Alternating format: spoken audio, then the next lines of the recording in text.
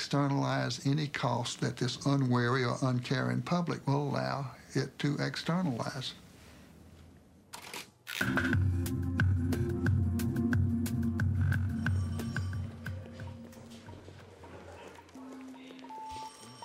To determine the kind of personality that drives the corporation to behave like an externalizing machine, we can analyze it like a psychiatrist would a patient. We can even formulate a diagnosis on the basis of typical case histories of harm it has inflicted on others, selected from a universe of corporate activity.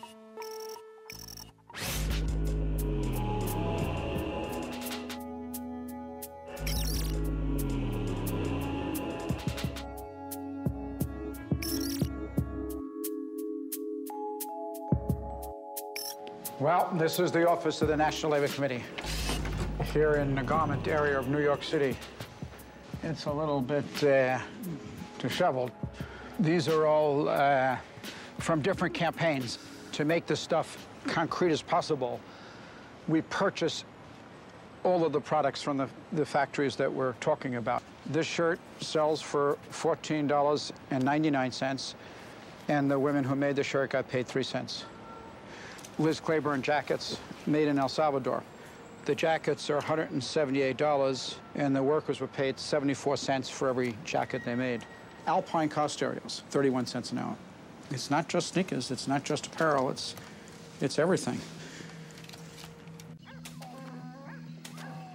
We were in Honduras, and some workers, they knew the kind of work we did, and they approached us, these young workers, and they said, uh, conditions in our factory are horrible. Will you please meet with us? And we said we would, but you can't meet in the developing world. You can't walk up to a factory with your notebook and workers come out, you interview them. I mean, there's goons, there's spies, the military police. So you do everything in a clandestine manner. We're about to start the meeting, and in walk three guys. Very tough-looking guys.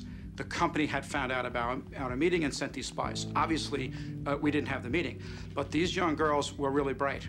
And as they were leaving, away from the eyesight of the spies, they started to put their hands underneath the table. And I put my palm under there, put my hand under there, and they put into my, my hand their pay stubs.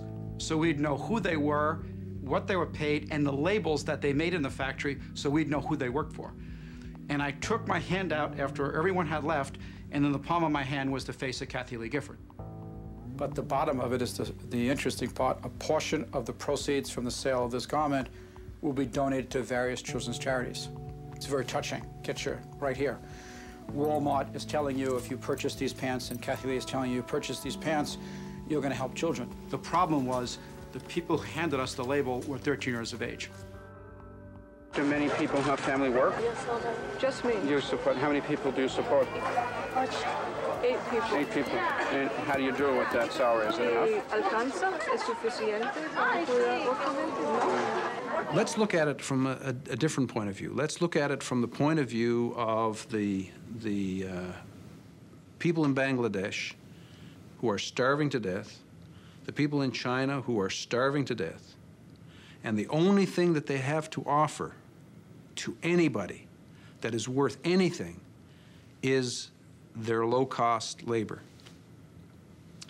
And in effect, what they are saying to the world is they have this big flag that says, come over and hire us. We will work for 10 cents an hour because 10 cents an hour will buy us the rice that we need not to starve.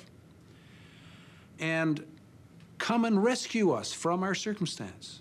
And so when Nike comes in, they are regarded by everybody in the community as an enormous godsend.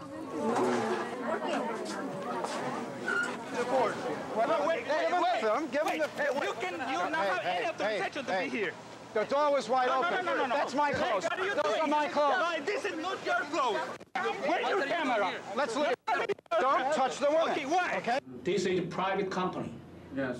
Without permission, how can you come in? Huh. Well, the door was wide open, and uh, Door is wide open is for the employees, not for you. We went through the garbage dump in the Dominican Republic. We always do this kind of stuff. We dig around. One day, we found a big pile of Nike's internal pricing documents. Nike assigns a time frame to each operation. They don't talk about minutes.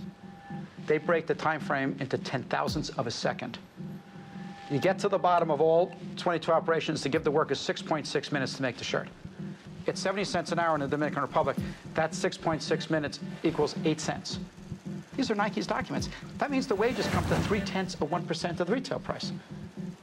This is the reality. It's the science of exploitation.